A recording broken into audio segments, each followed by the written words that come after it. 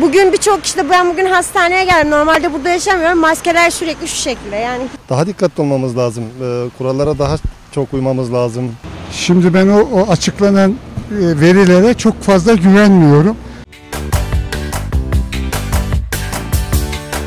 Sağlık Bakanı Fahrettin Koca haftalık vaka tablosunu açıkladı. Açıklanan tabloya göre omikron varyantının etkisiyle birlikte Kayseri'deki vaka artışı hız kesmeden devam ediyor. Bizler de vatandaşlara Kayseri'deki vaka artışını sorduk. Bakalım ne cevaplar aldık. aşımız olmamız gerekiyor. Ben oldum aşım ama e, o ge- gerçeklerde yansıtmadığına inanıyorum. Daha fazla olduğuna inanıyorum ya. Çünkü şu anda hastanede gördüğüm insanlara bakıyorum genelde hepsi aynı sıkıntı ama hiç kimse virüsten dolayı geldiğini söylemiyor yani. Ama şu anda ben de rahatsızım. İki kere aşı olduğum halde tekrar bu öksürük ve bu e, yani bu virüsün değişik bir versiyon olduğuna inanıyorum yani. Peki sizce neden gerçekler yansıtılmıyor olabilir? Bilmiyorum ama Türkiye'de hiçbir şey gerçeğe yansıtmıyor ki zaten. Yani olduğu gibi hiç kimse olanı söylemiyor yani. Herkes birbirine alt atıyor. Nereye gidecek, niye böyle bilmiyoruz tabii ki. Yaşantımız da aynı yani. Hep böyle, hep her şeyi inkar ediyoruz yani başka bir şey yok. Valla e, bizim insanımız maskesini takmıyor. O en büyük neden bu olabilir yani. Herhangi bir şekilde tedbir yok. E, efendime söyleyeyim. Görüyoruz zaten ha, duraklar mesela. İlk başlarında tramvayda bile herhangi bir toplu taşıma araçlarında bile e, korunuluyordu. Geçenlerde baktık hiçbir şekilde koruma falan yok. Bir boş bir dolu oturuyordu artık o da kalktı. Yani hiçbir sıkma yok. Sıkma olmadığı için de mecbur artma oluyor ister istemez. Tedbir yok, tedbirsizlik. Başka bir şey değil yani. Peki sizce vatandaşlar neden tedbirlere uymuyor olabilirler? Ya Çoğu hala ikna olmadı ki. İnanmıyorlar yani böyle bir hastalık yok diyorlar geçiştiriyorlar. Tek dedikleri şey bu. Böyle bir hastalık yok. Yani şimdi sorumsuz bir sürü insanlar var. Hani çoğu maske takmıyor. Eskiden e, o mesela eskiden biraz korku vardı ama şimdi rahat herkes salmış durumda. Ama aşıyı tavsiye ediyorum. Ben üçüncüyü vurundum. Herkese tavsiye ediyorum yani.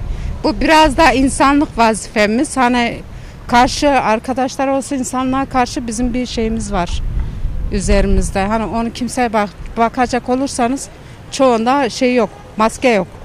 Ondan dolayı hızlı artış oldu bence. E Peki ya sizler artışla birlikte tedbirlerinizi arttırdınız mı? Ya tabii mesela otobüste falan birkaç sefer dövüştüğüm oldu. Maske takmayanlar. hatta Konya'ya gidiyordum. Ee, şehirler arasında da böyle şey yaptı. Ben de hatta şoföre dedim ki hani siz neden tepkinizi göstermiyorsunuz? Valla ben neler düşünüyorum. İnsanların biraz daha tedbirli ve e, kurallara uyarak bu şekilde davranmasını düşünüyorum. Çünkü gerçekten hani e, her ne kadar dikkat ediyoruz desek de e, bugün birçok işte ben bugün hastaneye geldim. Normalde burada yaşamıyorum. Maskeler sürekli şu şekilde. Yani hiç hiç iyi değil. Hastanelerde de aynı bu şekilde. E, Biraz daha tak, hani tedbir tedbiri gerçekten neden bırakmamak gerekiyor. O şekilde düşünüyorum. Peki sizler vaka artışla birlikte tedbirlerinizi arttırdınız mı? Muhakkak tabii ki. Biz en başından beri aynı şekildeyiz. Aşılarımızı mesela yaptırdık. Ondan sonra çocuğum okula gidiyor. Mesela gittiği halde sürekli hep e, peşindeyim onun. Hem temizlik kurallarına dikkat ediyorum. Daha dikkatli olmamız lazım. Ee, kurallara daha çok uymamız lazım. Son zamanlarda zaten sanki böyle virüs bitmiş, her şey güllük gülistanlık olmuş gibi. Herkeste, bizlerde de bir rehavet var. Oysa hiçbir şey bitmedi yani. Bizim bittiğim, bitti dediğimiz yerde tekrar başlıyor. Onun için e, mutlaka tedbirlere uymamız gerekiyor. İşte maske, mesafe, temizlik, hijyen, e, toplu olunan yerlerde daha az bulunmak gibi şeyler işte.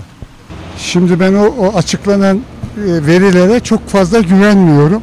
Çünkü insanlar şöyle baktığınız zaman e, ağızları yüzleri her tarafı açık iki, şeylere hiç uymuyorlar. Kurallara hiç uyan yok. Bu çok vahim bir şey. Yani ülke için çok kötü bir şey.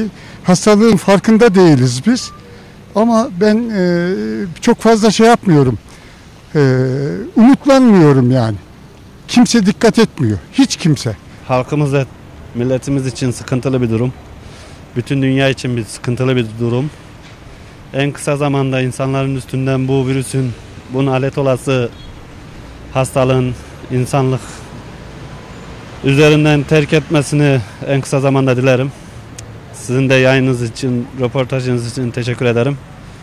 Ee, her şey Türkiye için, herkes, her şey bizim için güzel olsun. her şeyi yaşamaya değer.